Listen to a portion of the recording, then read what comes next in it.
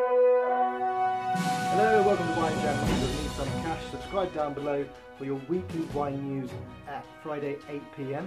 Uh, so starting off with our first weekly wine news is Whole Foods have presented an idea to the Sudbury government um, asking for a restaurant pouring licence that will allow customers to be able to shop while having a glass of wine in their hand. Um, I don't know if that's a good idea or a bad idea, but um, I, I think it could do some damage to your account, your bank account, to tell you the truth. Um, it's not the first time that Whole Foods have done this. Yeah, let me know your thoughts. Whether you think um, having a glass of wine while shopping is a great idea or not. Uh, it'd be interesting to see. Um, further news: opened this year at Colorado's um, Arapahoe Space and Ski Area. That's a tongue twister. Uh, as a wine bar perched at 12,500 feet on the Continental Divide. The wine bar Il Rifugio at Snowplume highest is the highest wine bar in North America.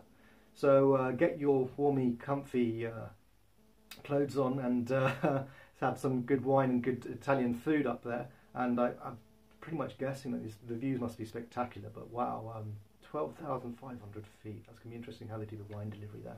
In further news, new autonomous vine bot called Bakus is joining outdoor bots like Bordeaux TED and Portugal's Vine Scout um, in cultivating the vineyards. Uh, the Vinebot Bakus is situated in Champagne. Uh, is a French startup uh, and it's uh, their desire to make um, it much more sustainable viticulture in the future. For me, it's uh, first to kind of know about actual autonomous robots on, in the vineyards moving around quite freely wirelessly um, with no human handler as such. Um, for three of them to be starting up, it seems like this could be the future for uh, for vineyards. Um, yeah, another one to watch the space. Uh, last year uh, was a very good year in Germany. The production of wine increased by 20% across Europe, 14% across uh, Italy, and 17% across France. Uh, Ernest Büscher of the Wine Institute has recorded saying it means a 20 to 27 million hectolitres more than 2017, which sounds good, except they're running out of wine bottles in Germany that means that their stock, which the wine German producers have, are just sitting there. Uh, there's no bottles for them to go into. Um, it's something that is probably a first um, to happen.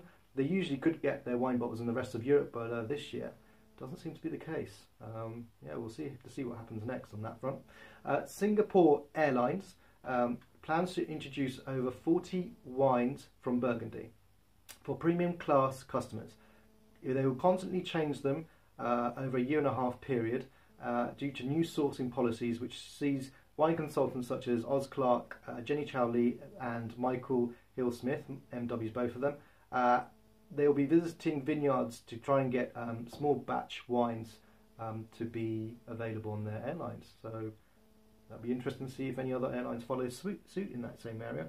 And uh, finally, uh, I'd say it's probably a fluff piece. But Sophie Turner, which you know from Game of Thrones as Sansa Stark, is seeming to be following the same lines of Tyrion Lannister when uh, she was found uh, on the big screen, which is called the Jumbotron, in the Rangers game at Madison Square Gardens, chugging a glass of Cabernet Sauvignon, which was fifteen pounds, fifteen dollars a glass. Um, so yeah, that's pretty much the news. She, she kind of downed the glass. I mean, it wasn't a huge glass. Um, you'll be able to probably see it on uh, on YouTube as well. But um, I'm just going to say, maybe show some more wine appreciation. We we all in the wine trade would appreciate that, you know, to advertise it in that way. Um, this is Somm Kash. Uh, as I said before, subscribe to get our weekly wine news um, every week at Friday at 8 p.m. And again.